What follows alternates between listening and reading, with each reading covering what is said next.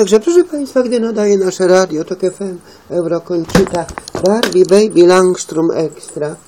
Słuchaj, aby być mądrym. Słuchaj, aby być mądrym, bo u nas jest po prostu, jak to można byłoby powiedzieć, najciekawsze. Musicie, moi kochani, się dowiedzieć, że to wszystko to i tak jest lipa.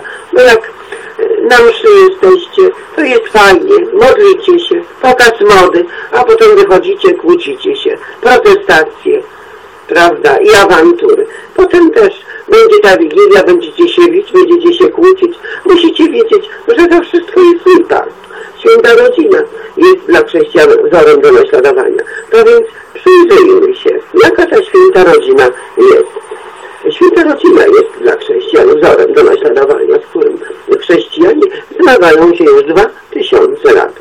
Ciągle jeszcze żyjemy chrześcijańską symboliką, sztuką, językiem, etyką, tradycją. Bez chrześcijaństwa, proszę Państwa, pisze francuski katolicki historyk religii Jean-Paul Roux, nie, mielibyśmy Madonnę Rafaela, ostatnie wieczerzy Leonarda da Vinci, Piety Michała Anioła, legendy o a boska komedia nie byłaby tym, czym jest. Moglibyśmy słuchać kantat Bacha, mszy koronacyjnej Mozarta, śpiewu gregoriańskiego, a nasze dzieci nie podziwiałyby żłobków ze świętą rodziną. Nie cieszyłyby się przystrojoną kolorowe łańcuchy i błyszczącą światłami choinką.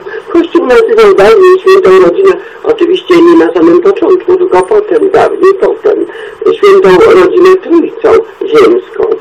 Jezus był jakby łącznikiem między światem ludzkim i boskim. Na ziemi dziecko pod opieką dwojga pobożnych Żydów, Maryi i Józefa. Ksiądz Rydzyk tu mówi, żeby nie mówić Maryi, bo Maryi i Józefa. W niebie druga osoba Trójcy Świętej.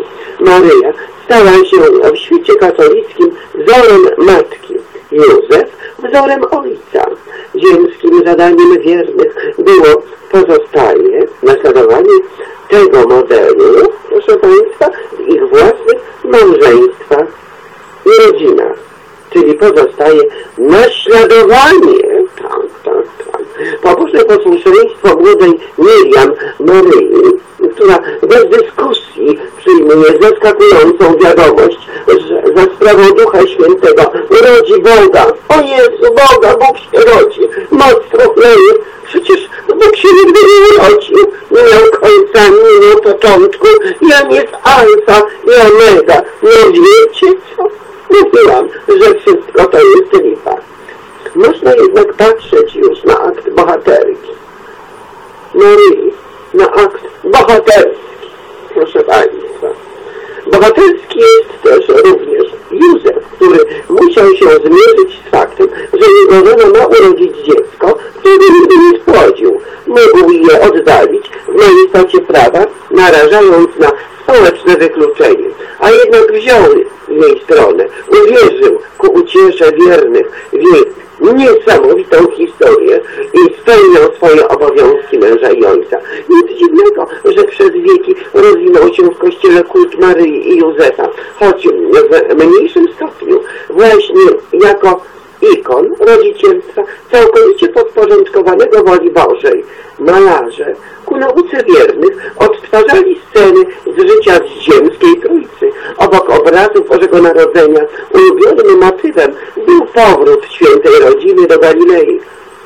Rodzice idą z małym Jezusem, trzymając go za ręce. Kościół chwalił, proszę Państwa, także obrazy Maryi karmiącej, przytulającej małego Jezuska, Madonny z dzieciątkiem. W malarstwie sięgano do odrzuconych przez oficjalny Kościół apokryfów, które podają szczegóły z dzieciństwa Jezusa, jakich nie ma w czterech zaakceptowanych Ewangeliach.